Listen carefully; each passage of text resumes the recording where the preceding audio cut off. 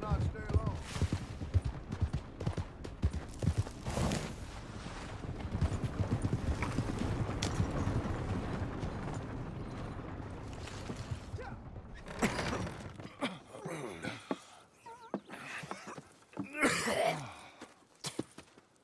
I wasn't sure about you, Mr. Jones.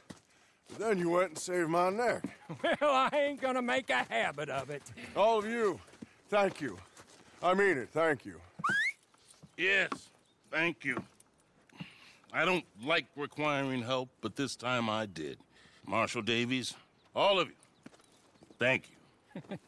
Ain't that fine? I was thinking we should leave before Montez's ghost decides to pay us any further visits. So you are a good fella, Mr. Jones. Me?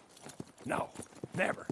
I just like watching what other folks is, that's all. There's a word for fellows like you. Wise? Is that the word? Come, Marshal.